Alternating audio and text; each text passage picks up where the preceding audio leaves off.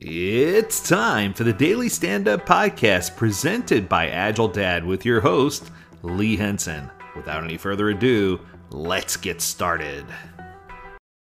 I have a sneaky suspicion that this is going to be a pretty short engagement for this episode.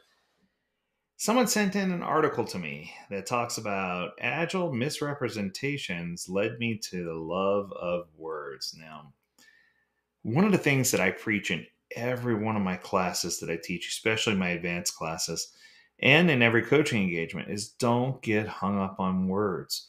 If you let words control your every movement, you're going to be in trouble because sometimes words mean exactly what you expect them to say. I mean, and um, say or mean, and other times they don't.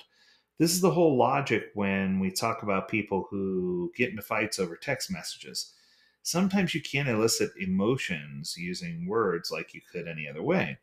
So I often find myself saying, don't get hung up on words, have a simple conversation. But let's see where this author took this article because I think I'm going to just sit here and go, oh my goodness. Here we go.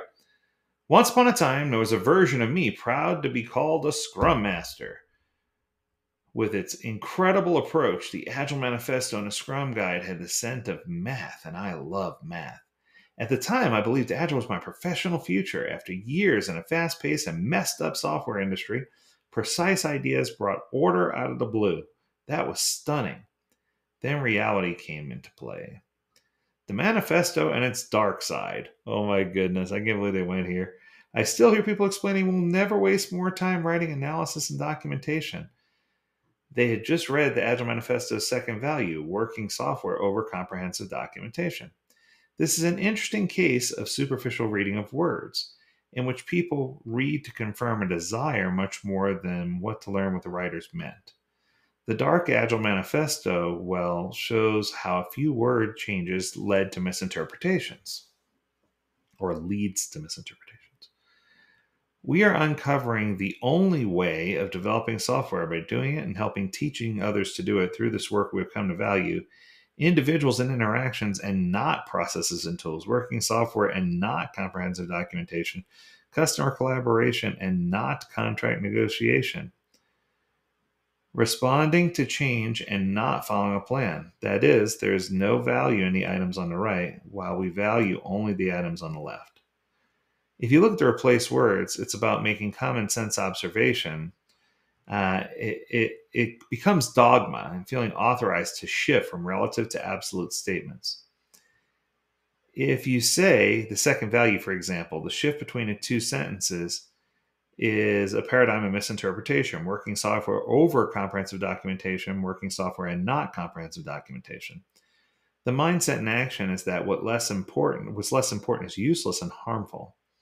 It implies that value is only in working software and assumes that users need no documentation to use the software, which is an ideal situation. However, as a technical writer, I'm convinced that any documentation page is failure in designing software as users expect and think it to act. As a software engineer, I know that developing software compromises perfection and available resources, so software is never built to be perfect. In an ideal world, documentation is something to avoid, and comprehensive documentation is even more useless but in a real world, users cannot get value from software without guidance from documentation. Okay, this is just spinning in circles.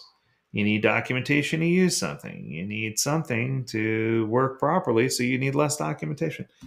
This has been the chicken and the egg battle, and and it's it's amazing to me. You know, I'm not even going to go through the other points because he goes through each and every one of the points. I'm just going to close with this. yes, I said close.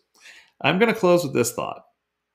If we nitpick every single word of the manifesto and the intent of the authors versus how it's written versus how it's going to be acutely accepted from a psycho- psychokinetic or psycho- psychological expectation, we are going to chase our tails and we are going to wind up not getting anywhere. We're, we're going to wind up worse off than we were when we started my point here is while I really appreciate people using the right word for the right time, ask me about the difference between continuous and continual, right?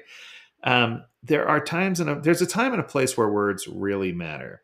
In this case, when people get to the heart of being so nitpicky, it drives wedges in between what the agile spirit is and what we're trying to do.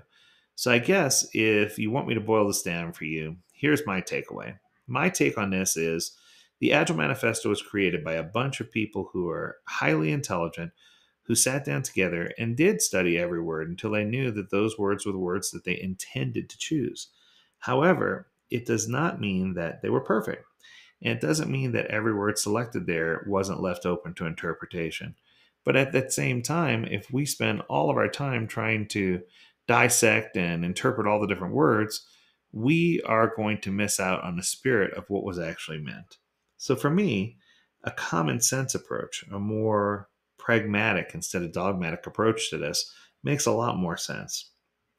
Instead of spinning our wheels and talking about what we can do to get all this figured out and how we can be more effective and what the intent was from all the different roles and from all the different perspectives, that could take days, weeks, months to figure out. And then even once we're done, it would be time to evaluate it again because needs change, especially when you move from different types of projects to different type of projects.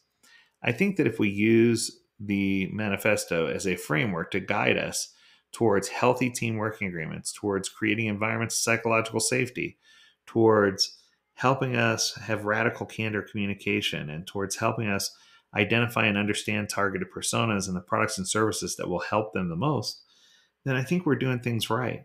But there's no way for us to, we, we have to remember that agile is a mindset. We have to think agile before we can be agile and before we can do agile. Agile is one third execution, one third thought process, and one third preparation. And I think people forget about that preparation part because it is a mindset and you need to be mentally acute and aware of what you're doing and the decisions you're making and how it's going to impact your targeted consumer. That's going to do it for today. I hope you enjoyed it. If you have an episode or an article or anything you'd like for us to do, feel free to reach out. Learn more at agiledad.com. We'd love to hear from you. As always, we encourage you to stay healthy, stay well, and stay agile, my friends. Until next time, do take care.